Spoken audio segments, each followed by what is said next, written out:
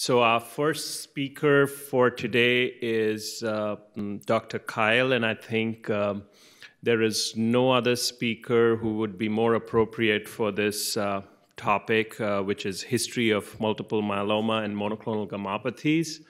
Dr. Kyle, over the past half a century, has witnessed remarkable progress uh, in multiple myeloma and other uh, related disorders. And uh, Without much ado, I'll give the podium to Dr. Kyle.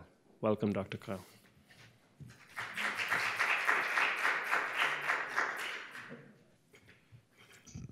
Well, good morning.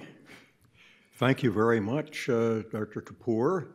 It's a uh, pleasure to be here today, and especially to talk a little bit about uh, multiple myeloma and the monoclonal gammopathies in the past.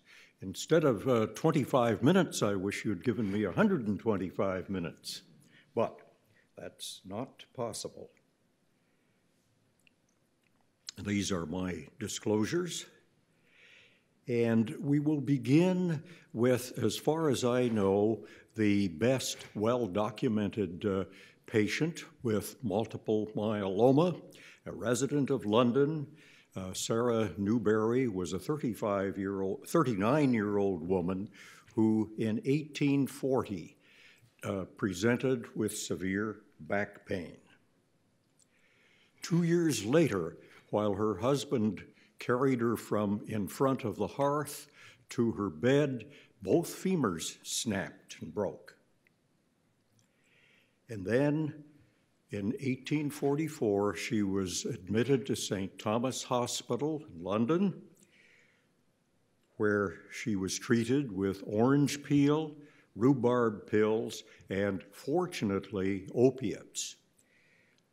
She uh, died uh, uh, five days later, and uh, at autopsy, her red cells in the bone, or her plasma cells, or cells in the bone marrow, resembled those of plasma cells.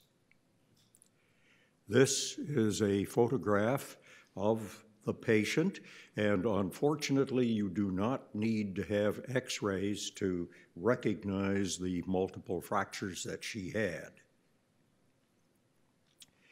The second patient was uh, Mr. Thomas Alexander McBean, who is better known.